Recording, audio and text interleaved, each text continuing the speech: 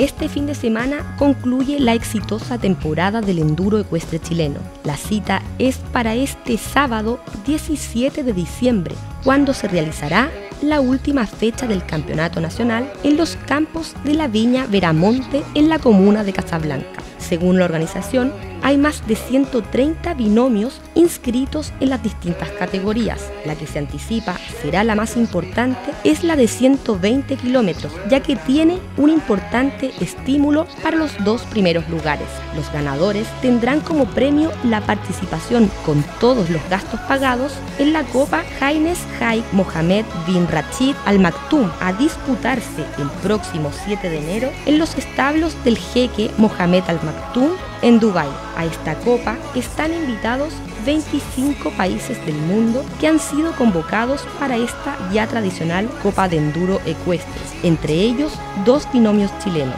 Otro importante estímulo para asistir es que los caballos enviados desde Chile a competir tendrán la posibilidad de ser adquiridos por alguno de los distintos establos de los Emiratos Árabes a precios que bordearían los 100 mil dólares americanos.